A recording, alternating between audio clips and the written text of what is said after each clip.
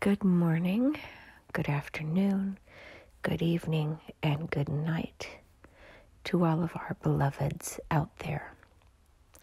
You all have seen a shift in our another, as well as a shift in the universe and the cosmos. The shift is real. We are moving you through the last aspects of the eye of the needle in order to prepare for 2022.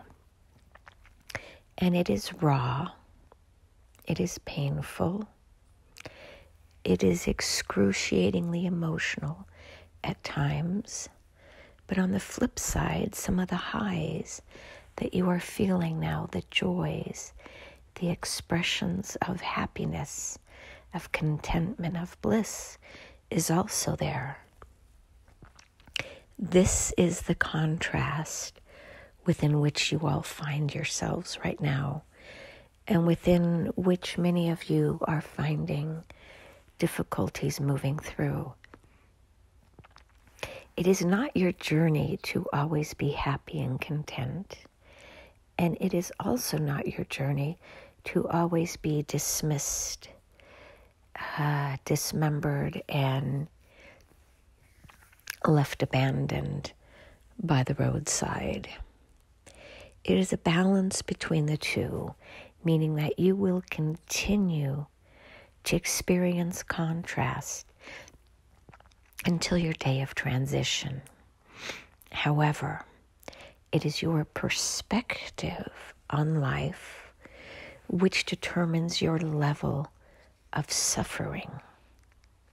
You are oftentimes stuck in those negative emotions which keep you blinded to the other experiences that are available to you right now. But you choose to see the limitations within which you find yourselves rather than the expressions of opportunity that abound once you pop through this window, through this eye of the needle. And we just invite you all to experience more of the optimistic perspectives.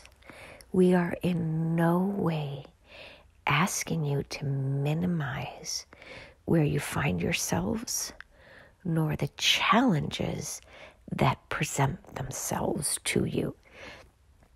It is not that we wish to say, pretend that they are not there. What we ask you to do is to dream a different solution into place.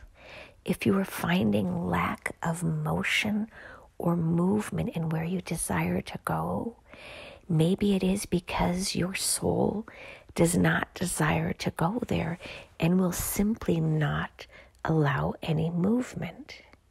And that then creates frustration on your part, resentment that it is not moving forward, and a feeling that life is not honoring your wishes.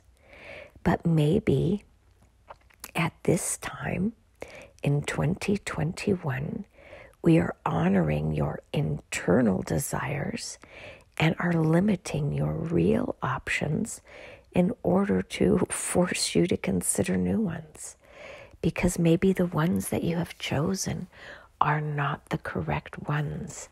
And we have heard, dissected, replaced, and honored what it is that you really want. When you ask us for joy and happiness, but then ask us to bring you a particular solution that we know will not bring you joy or happiness, well, then maybe it is better that your request not be honored and that instead you sit there in a holding pattern until you come up with a different request or solution.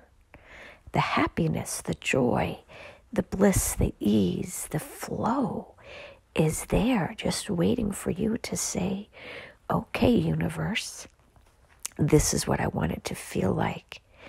You bring it about We are moving from the form of patriarchy, which is where you try to control everything around you with your solutions, and we are moving into times of the divine feminine, where we or your soul are offering the solutions that are perfect for you to continue on this expansionary phase called your life. But we will no longer offer those solutions that we know will not support your journey. So instead, we will keep you sitting where you are at until you surrender more to our process. This is the divine feminine, meaning allowing the intuitive knowing to guide you versus the intellect as to where you desire to go. It is a very simple process, and it is one that many of you are resisting uh, with great uh, fortitude because you don't like this new way of being. And it is okay. We will just keep you in your holding pattern until you surrender to your soul's wishes instead of your left brain constructionist solutions. It is simply a retraining, a reprogramming, a relearning of how you live life. It is no longer the old fear based paradigm, but instead is now a new love based paradigm. And as more of you come online, more of you will fill the ether with this construct and more of you can then download it because the energy will get that much more powerful and energized in the collective consciousness as you are all one. You are all deeply interconnected through cords and cables and strings and ties and whatever you wish to call them. And as more of you become love, it will feed the rest of you who are struggling with moving into this trusting way of knowing that the universe has your back and your front and your underside and your top and your left and your right. You will see how this is a new loving energy and it will provide a safety net for you in a way that you have never felt.